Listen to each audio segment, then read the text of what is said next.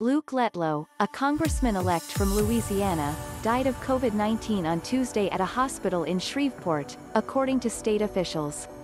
Letlow, 41, won a runoff earlier this month to represent the state's 5th congressional district, succeeding his former boss, Representative Ralph Abraham Arla, who didn't run again after three terms in Congress.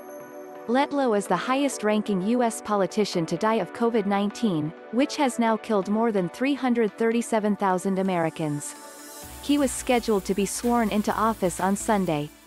Letlow announced that he had tested positive for the novel coronavirus on December 18, the Monroe News Star reported, and quarantined at his home in Richland Parish in northeastern Louisiana.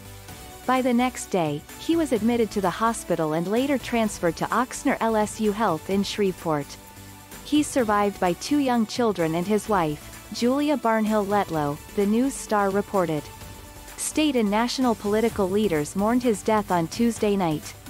COVID-19 has taken Congressman-elect Letlow from us far too soon, said Louisiana Governor John Bel Edwards, D., in a statement shared on Twitter. I am heartbroken that he will not be able to serve our people as a U representative, but I am even more devastated for his loving family. Letlow was a native of Start, Le, a town of about 900 people, and graduated from Louisiana Tech University before launching his political career as a staffer for former Louisiana Governor Bobby Jindal, R. The News Star reported. When Abraham was elected to Congress in 2015, Letlow joined him as chief of staff.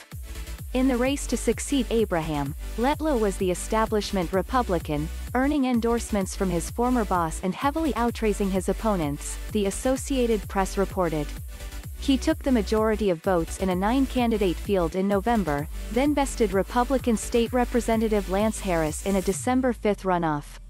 As coronavirus ravaged Louisiana, Letlow has urged residents to follow social distancing guidelines and to listen to doctors, noting that Abraham, a physician, returned to Louisiana to help treat COVID-19 patients.